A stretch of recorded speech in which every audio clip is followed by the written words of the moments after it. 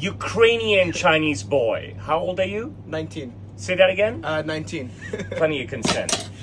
I have him absolutely stacked in my signature detail single button Marzoni button, a peak lapel with my dot dot dot dot hand needle and thread pick stitching, accent color in the buttonhole, Barchetta breast pocket with the curve and kick. There is the peak of my pocket square. My signature pockets, a kissing ticket pocket, angle pockets, undersized pocket flaps, fully lined pocket flaps. Look, even a gauntlet cuff, a five button cuff that is fully functional with a double buttonhole accent color on both sides. I have the young Ukrainian Chinese boy absolutely gift wrapped in my 4D fit. He wants to be violated. I know he's gagging for it. Let me open him up.